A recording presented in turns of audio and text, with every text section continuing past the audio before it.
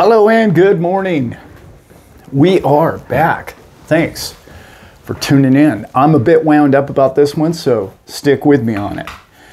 Today, I want to talk about, like in the title, you see there CBDCs, and be careful what you all wish for. Right on cue. Uh, right on cue. Bruno gets in the camera. um, you'd think I have a dog whistle or something. Um, get down, big guy. Get down. Down. Okay, so today I, I want to talk about CBDCs and what they mean to you and I and who's behind them and all the rest of it. I did a video about a year ago, and I, I know uh, many of probably haven't seen it. You could look it up, and we could maybe even post it up somewhere around over here about how I didn't think CBDCs would ever come to be. Uh, and there was a lot of fundamental reasons as to why I thought that and why I still think that uh, to some degree. Although uh, they've gained a lot of uh, ground, I knew they would. I thought they would fail. Honestly, I think CBDCs will still fail. They're going to run into a wall, if you will, of technology. And this wall is going to be a big issue for them because the people at the very, very, very bottom, I keep talking about this all the time, at the very bottom, it's how do you get people in very small communities to work with digital currencies? It's not going to be easy to do. Uh, you're homeless. You're, I mean, all of these people, and people say, oh no, they're just going to get a free phone. Where are they going to charge it? Where are they going to charge the phone?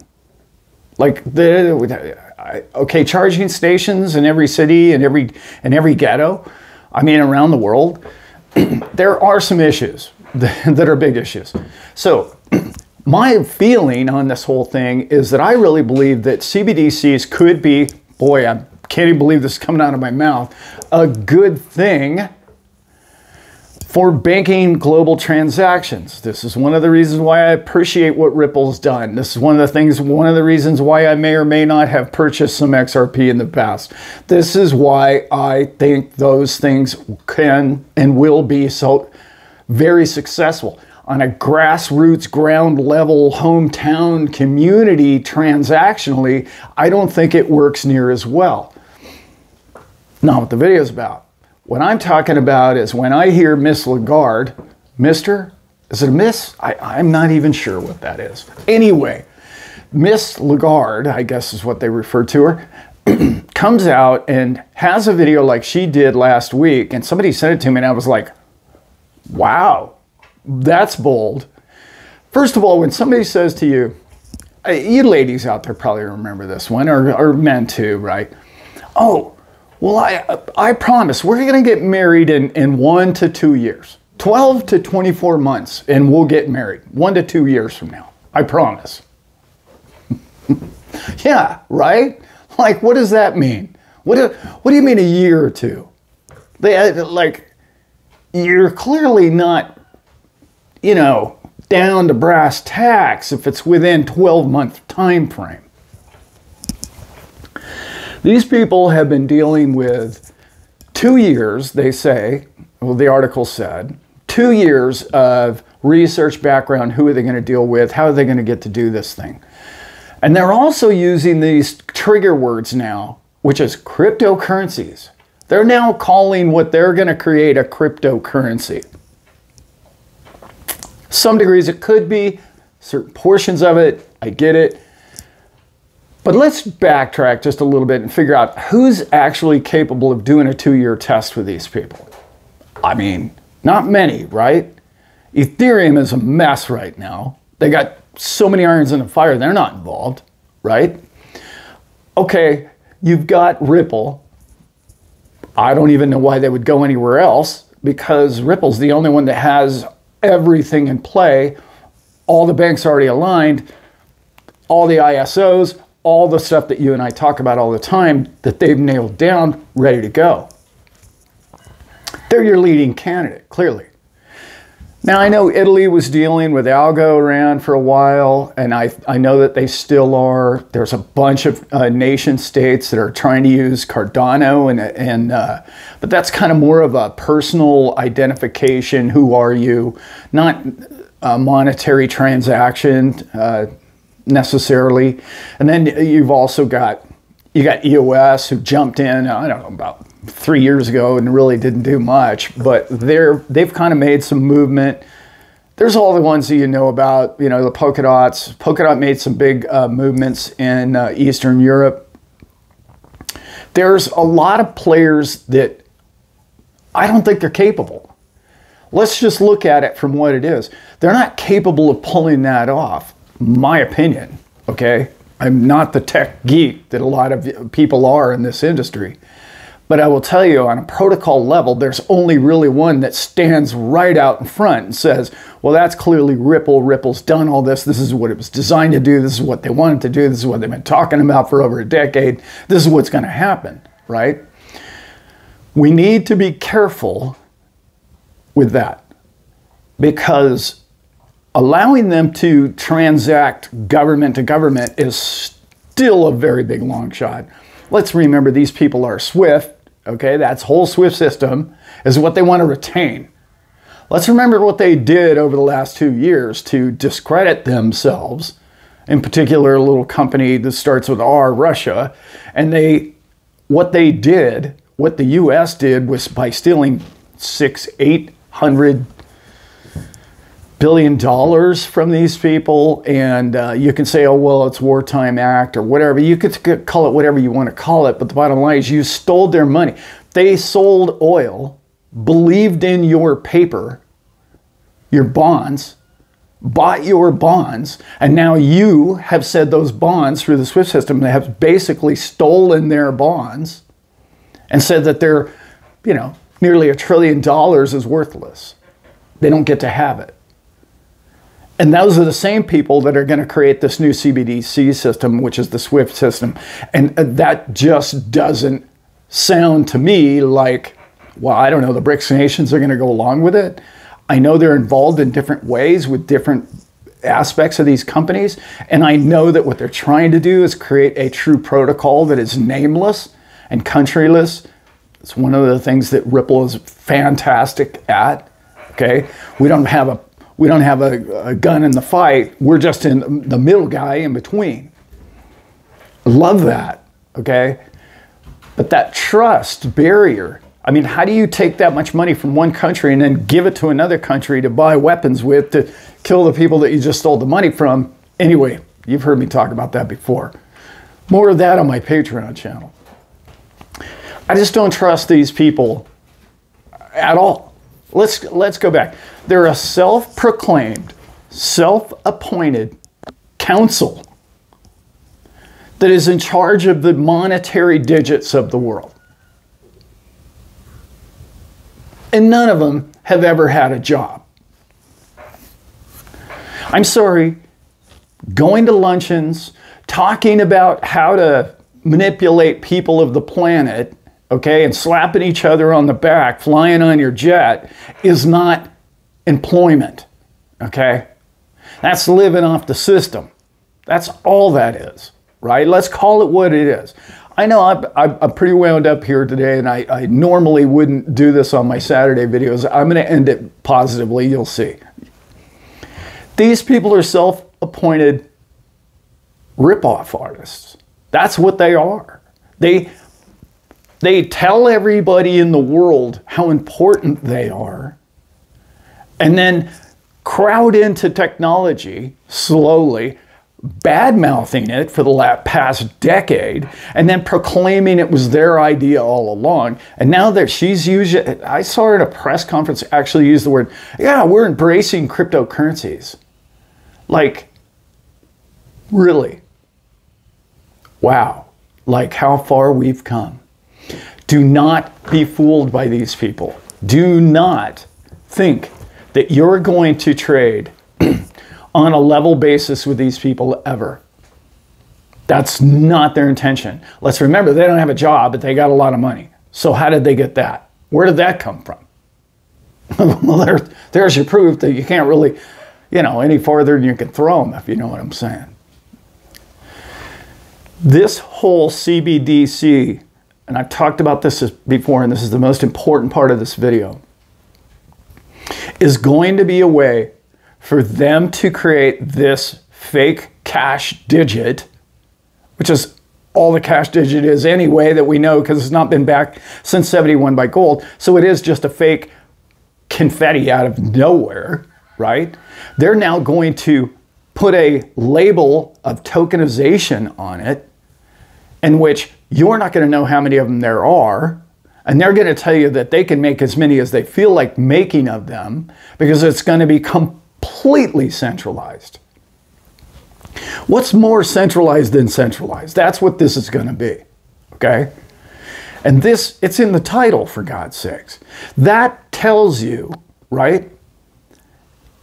They're planning this. They've been planning it for a long time. I know. We're not dumb here, but they're planning to take control of the future of all crypto.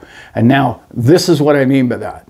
They're going to say, okay, well, our CBDC is just as good as, as uh, XRP, or it's just as good as uh, Algorand, or it's just as good as uh, Solana or Bitcoin. Just trade those, those coins with our coins freely, all you would like to do. It's going to be a one-way street. You're simply going to get their CBDCs and you're going to give them your Bitcoin or even Ethereum or whatever it is. And they're going to end up with all the coins. This is plain as day, anybody that understands what the system is and the way it's going. Now, that's big, guys, because I don't want to see you lose your true coin protocol, true purity of it by some scam coin that they're going to create, and they're going to create billions or trillion, clearly trillions of them to be able to manufacture or, or uh, manipulate the market in any way in which they want to do so to crush the price of your coin so that you'll trade them straight across because you have to pay your electrical bill. That's where they want to see it go. Clearly, that's what they want to see happen. Okay? Again, I didn't elect those people. You didn't elect those people. And yet, they have decided that they're the people that is going to change the world of money. Your labor is now being controlled by a bunch of people that pat each other on the back, self-proclaimed intelligence of the of the planet. That we're we're the only ones that's uh, smart enough to control all this for all of you idiots. This is not why I got into crypto. This is not why crypto exists. This is not decentralization. If you do not have a truly decentralized coin in your portfolio, and you can figure out watching my videos, a few of those that I really believe are. And personally, I believe in, I know, many of you don't. And that's okay if you don't. I'm okay with that. But if you don't have a few coins that are proof of work, then you don't own a truly decentralized coin. Bingo, there, I said it. That's the facts. Those people are going to be able to create new coin after new coin after new coin and tell you this is the coin you have to use, and they're going to supplement it for the coin in which you own. That's clearly the only thing that they can do at this point. Okay? And then they're going to mandate and make it mandatory that you have to use CBDCs to pay your bills. When that day comes, you're going to want to be in a country that is a little bit more favorable towards some of the coins that I mentioned in the past. Okay? In particular, probably Bitcoin. There's going to be nations that are going to run solely on that. There's nations already adopting it now. There are many other coins. I was talking about that one. You're going to be able to trade the value of your, your holdings, your coins, for the value of assets or necessities in your life for the rest of your life. Let's remember the value of all things denominated in fiat is declining. Okay? In other words, in value. In other words, all your coins are going up in value when it comes to anything that you're going to need the rest of your life. It's real simple. All you got to do is look around. And I talk about this all the time, but when I first bought my little ranch here, that you know it would have taken 26 Bitcoin. Today it would take four, and the ranch has doubled in price. One day this ranch will be one Bitcoin. That that's where real assets go. That's not where CBDC assets go. That's not where anybody, CBDC is simply going to allow these people to continually print the US dollar and transact with it and inflate it to any level in which they want because there's absolutely no idea how many of them there are. They have no clue. They have no clue how many ounces of gold there are. They have no clue on how many ounces of gold come out of the ground each day. They don't have a clue. Okay? You have to have a clue. You have to have a ruler. You have to have a, a, a digital knowing of what you're dealing with, which is what I like about true cryptocurrencies. XRP, we know how many of there are. We know how many Cardano there are. And we know that those are being burned and they're being minused. We know how many coins there are out there. These are big picture items that a lot of people, oh, yeah, well, that's just how it is. But remember, this whole world is coming to what you and I own. I talk about this every video. The, it's a mudslide and it's creeping really slow, but it's gaining momentum. And that momentum is hitting the, hard, the steeper part of the hillside. And that's where we're at. And it's happening now. Now, guys. Now,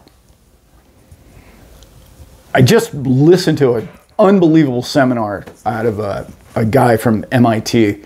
Um, and the protocols that they're building on the top 10 coins are going to blow your mind. The, like, what they're building on Bitcoin alone, I had no idea like I, I didn't even understand. I thought Bitcoin was just what Bitcoin is, and now okay, it's the old dinosaur in the room, and it's there's nothing. Uh, no, that whole taproot thing and everything they're doing with it is blowing my like. They're duplicating virtually every other protocol outside of Bitcoin, duplicating it and integrating it into Bitcoin. So, in other words, whatever Solana's great technology may be, is going to be in the Bitcoin protocol.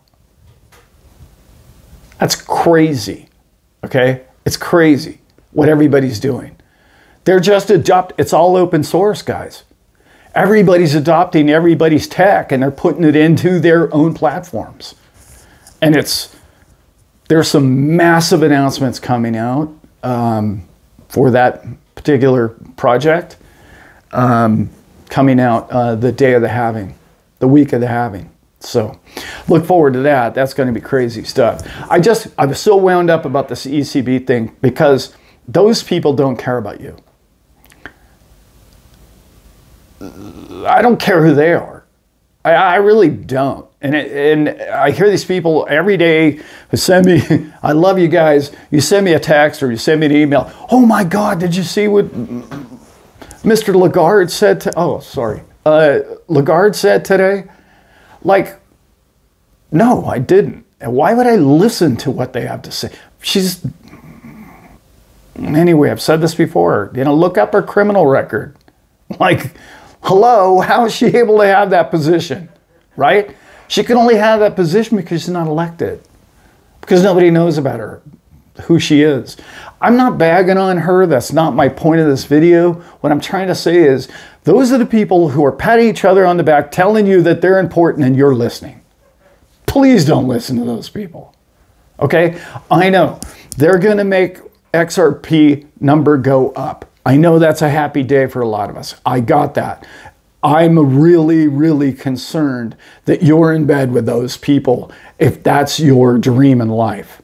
That scares me. That's not why I got into crypto. That's not why I believe the future of mankind and the transaction of your hard labor and efforts, okay, for redeeming some form of token, okay, or value that you can store the rest of your life so that you can, when you don't feel like working in the later times and, and periods of your days, you don't have to, okay? That's been taken from us with the monetary system, as you and I know. We need something that's true and honest and decentralized. And we're getting involved or getting in bed with the people who are the worst at centralization. Not why crypto was created, not why white papers were written. That's all I'm really, really worried about it. And I know, okay, great, man, you got your Ferrari and you got your big house on the hill. Well, oh man, my XRP or my XLM went through the roof. I got rich, great. And everybody after you is enslaved in that system. This is not what we want. That, that's not what you want. Trust me. I hope you get that. All right, guys. I love you guys. If you like this kind of content, uh, please like and subscribe. I uh, it's amazing. My channel's blowing up, and I guess it's because everybody's really getting excited about this bull run. So am I. It's really here. Uh, all the numbers are showing it, and that's a good day for you and I. And I love that uh, for you as much as anything else. With that, guys, I am out. So I'm on the boat, and I meet this guy and he swings by my boat, a little boat, and uh, so we get to talk. He's working. Uh, he works for a big boats like that. We don't like to uh, uh, pollute the ocean, obviously, but so we hire little boats to come pump out the heads. So we get to talk. It takes a while. It took probably an hour and a half of pumping there. So I get to talking to the guy, and so one of you guys called, and I was talking to, I can't remember who. And he said, I get off the phone. He says, "Oh, so you're uh, you're into that crypto scam, huh?" and I'm like, "Yeah, this is fitting. Where's my camera? I need to record this next ten minutes. I need to record right. I need to push play right now and record what this man is about to say to me. Yeah, you know, there's a, there's a whole scam, right? There's a scam in you. Yeah. Yeah, I know so many. Everybody I know lost money on crypto. I went, huh? Wow. Tell, so tell me more about it. Oh, it's a, it's just a big scam. It's just printed out of nothing. Oh, oh wow. So what else you got? Well, it's a, you know, it's a ripoff. I go, oh, okay, so your deep dive research is it's a ripoff, it's a scam, and they're just going to take all my money. Yep. Yeah, that's it. I go, that's all you know about it. Yeah. Huh. Wow, man. And you're walking around telling people that advice? And that's all you know about crypto? Hmm. Wow. No wonder everybody's scared to death around this planet. Well, thankfully, I don't listen to people who pump crap for a living, sir. And you have a good day, sir. Love you all.